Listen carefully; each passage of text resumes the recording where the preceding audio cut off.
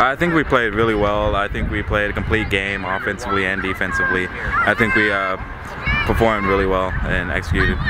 Uh, it opens up uh, the run game and uh, makes the defense not allowed to focus on one player or a couple of players because uh, Hamper hasn't really gotten in the pass game very much. So uh, I don't think that they focused on it in practice. Uh, yeah, I'm feeling good. I'm happy to be back. I'm excited.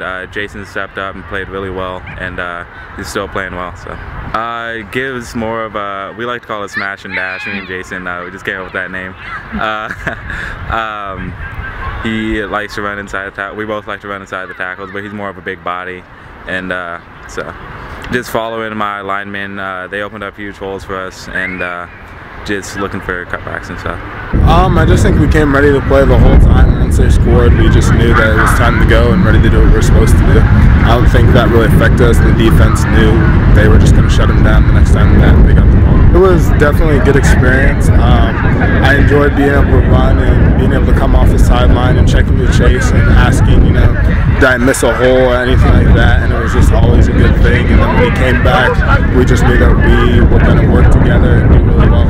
Um, he just told me to just play normally and just play how I play and run over people and get yards. Um, we love it. Um, we talk all the time on the sidelines and like you were saying, like smash and dash that we just came up with and everything goes really well and we're always joking and having fun.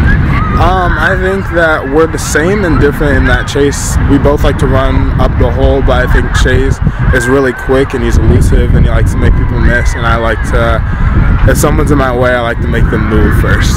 um, I think this is the best game that we've played so far. I think we're going to do a lot better and I think, you know, a lot of teams have forgotten about us and thought that, you know, they're just going to play games normally. I really think that each game we're going to get better and better and this is just the